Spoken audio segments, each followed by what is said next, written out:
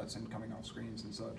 Definitely, it's tough for sure. Obviously, it's frustrating, um, but it's just kind of like I said, the way that the Big Ten's playing us. Um, they really are focused on CJ and I, um, on our cuts. You know, they're up into our space, but just through watching film um, and playing against it, I think we're gonna continue to get better um, at handling that, um, and I think we'll be just fine. maybe not this weekend because it's the Big Ten still, but is there an opportunity or a, a thought that maybe in the NCAA tournament, because it's not in Big Ten play and things might be called differently, that might even be refreshing come maybe next week? Yeah, definitely. Um, I think especially just being this late into like obviously the Big Ten season's over with, but um, every team has you so well scouted by the end of the year um, that they know how to play you. They're you know up into your space, like I said. So um, to play a team from a different conference would definitely be a fun test. Sure.